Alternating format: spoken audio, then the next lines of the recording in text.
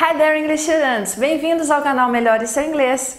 Eu sou a professora Érica e junto com o professor Newton trabalhamos com aulas particulares de inglês por Skype focadas em conversação e para todos os níveis. Hoje vamos ver mais alguns adjetivos usados para descrever pessoas em inglês. Let's get started!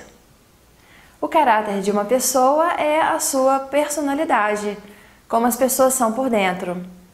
Quando a gente descreve uma pessoa, podemos mencionar como essa pessoa é por dentro.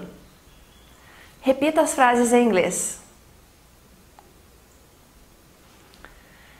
Eu acho que ele é introvertido. I think he's introverted. I think he's introverted. Somos introvertidos. We're introverted. We're introverted. Eles são tímidos perto de estranhos. They're shy around strangers. They are shy around strangers.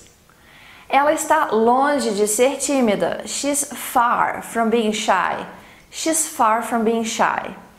Minha tia é extrovertida e gosta de conversar com outras pessoas. My aunt is extroverted and enjoys chatting with others. Não suponha que o comediante seja extrovertido. Don't assume that comedian is extroverted. Don't assume that comedian is extroverted.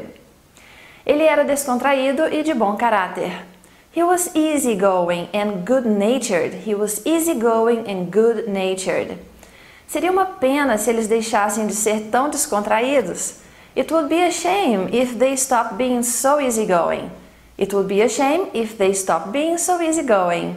And that's it for today. Thanks for watching.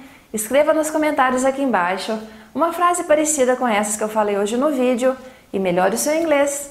Se você gostou dessa dica de inglês de hoje, dê um like e se inscreva no nosso canal Melhore seu inglês. Nos siga também no Instagram, Facebook e podcast Melhore seu inglês. Para aulas particulares de inglês por Skype, basta entrar em contato comigo ou com o professor Newton. Um grande abraço and see you next class!